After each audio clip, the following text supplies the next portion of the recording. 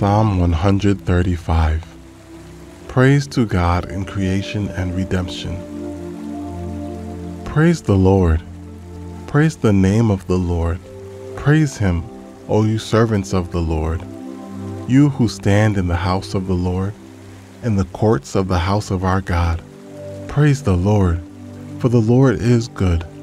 Sing praises to his name, for it is pleasant.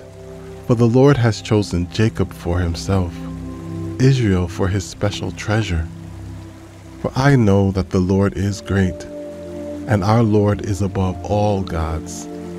Whatever the Lord pleases, he does, in heaven and in earth, in the seas and in all the deep places. He causes the vapors to ascend from the ends of the earth. He makes lightning for the rain. He brings the wind out of his treasuries.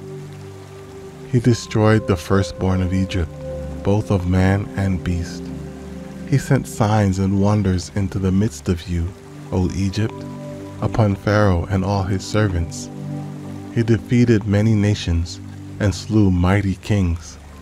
Sihon, king of the Amorites, Og, king of Bashan, and all the kingdoms of Canaan and gave their land as a heritage, a heritage to Israel his people. Your name, O Lord, endures forever.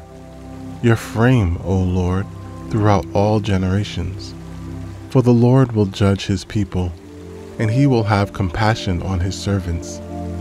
The idols of the nations are silver and gold, the work of men's hands.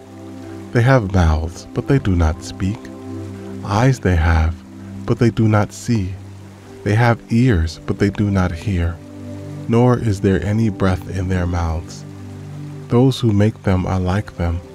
So is everyone who trusts in them. Bless the Lord, O house of Israel. Bless the Lord, O house of Aaron. Bless the Lord, O house of Levi. You who fear the Lord, bless the Lord. Blessed be the Lord out of Zion, who dwells in Jerusalem. Praise the Lord.